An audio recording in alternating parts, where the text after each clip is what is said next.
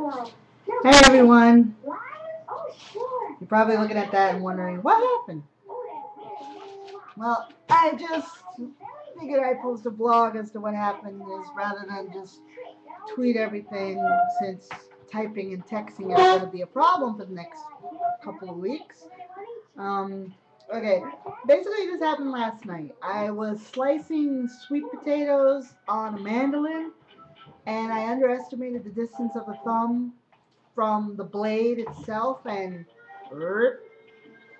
tore a huge chunk of skin off my thumb. Now, me being a, well, what's the word, um, prideful person that I am, thought I could just bandage it up and I'll be fine, you know, tighten it up, put pressure on it, be fine. I was wrong. This morning I went to go change the bandage and all the bandage was seeped through. I mean, think of it like, you know, when you buy a burger and the oil seeps through the wrapper. That's what happened. So I was like, all right, well, I guess this means I need to go to the hospital. Um, I think there's a DVD still in there. You can just plug it in and pop it out. Okay. Sorry, someone my someone's putting in my birthday present, but I'll get to that in a minute. Um, so I said, you know, I'm gonna have to go to the hospital. So I got a ride and I went to the emergency room, and sure enough, they um said that the skin, since I lost it because it went down the drain, needs to be repaired. So they put this um they put first they put my thumb in a little bowl of sodium chlor sodium chloride, not sodium chloride. Um, it's not alcohol, it's not hydrogen hydrogen peroxide. It was something else. Um, but sodium something. So they stuck it in there so they could get the bandage off because the bandage was pretty much glued to my hand thanks to all the blood coming out. So I had to stick it in there to get it out and it stung at first, but then after a while, after soaking it in there, it, it wasn't stinging as much anymore. So uh, this time, because there was no blood coming out, I was actually able to take a look at what it looked like, and uh, I don't want to go into graphic detail, but it's ugly. Um, so they had me sitting in there, not as long as I thought, because I went to Fatima Hospital. I didn't go to Rhode Island Hospital.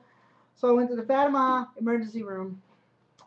Uh, went in there at about 11:15, and I came. I just came home about, and I just came home about a half hour ago. So um, that so that's actually short compared to if I went to Rhode Island Hospital, I'd probably still be there. So I have this. They have what's called Surgicel on it, which is like a second skin. And then they wrapped it up in this special way so my thumb's covered. I mean, the bandage is kind of loose, but it's not like the way I did it before, so I'm probably going to tape it to make sure it stays on. And so the doctor tells me, yeah, of course, it's going to be only a matter of time before the skin grows back on my thumb because it was a pretty deep gash there. So I got to keep this on, and it still stings like the dickens. So I got some prescriptions here to keep it, keep the pain down. Seems to be working. I took it about an hour ago, and the medicine's kicking in, so I'm not in as much pain as I was last night.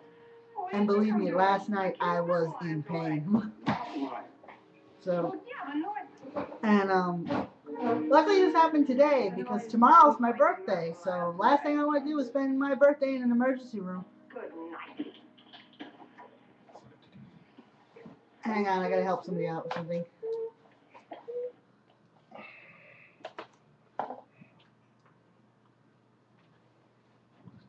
So I got, so I'm gonna have this on for a while. I've got to wrap it in plastic in order to keep it safe from water and stuff. And then I gotta take these meds up until it's time for me to come off. But I will say this, I did have one highlight today. I got my, I got a birthday present early from somebody special.